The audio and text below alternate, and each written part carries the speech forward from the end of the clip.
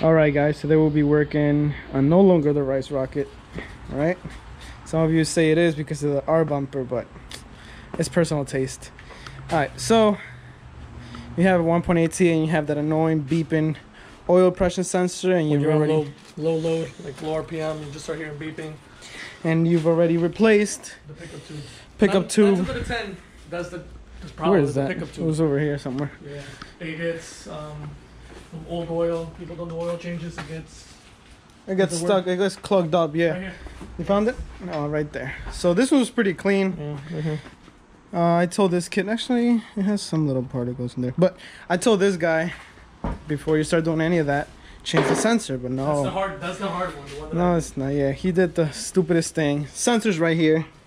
Open up your hood. Unplug your little switch right here. Um, what is it? A 20 millimeter? No, it's like a 23. Get one of these. It's a 23. All right, you get your 24 millimeter open end. First, get all this stuff out of here. Get this cable out of there. Loosen up your sensor. Good. And I'll leave the video with this kid. Right, if you actually get a 24 millimeter um, ratchet, it's easier. So loosen that up. Pull this little bad boy out.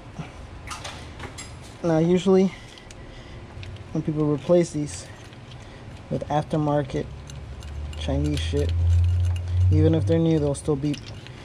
I had the same thing happen to here. Hold this. Usually you can check bad, check if they're bad if the oil gets inside of there, but this was all crusty. I just swapped that out with a new one FCP Euro. for the win. 15 bucks.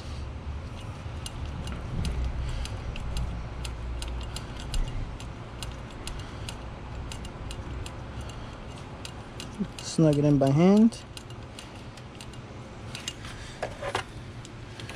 Get a little ratchet from the outside.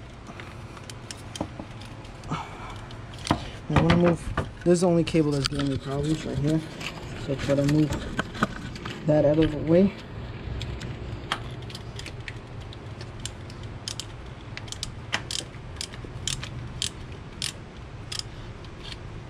Now snug it in.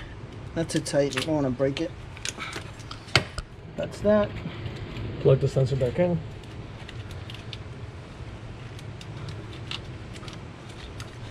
Is that harness is on the way? Move that out the way first. Plug in your sensor.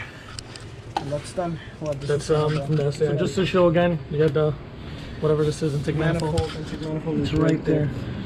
Right where the oil filter is. Right here. Oil filter's down here, right above it.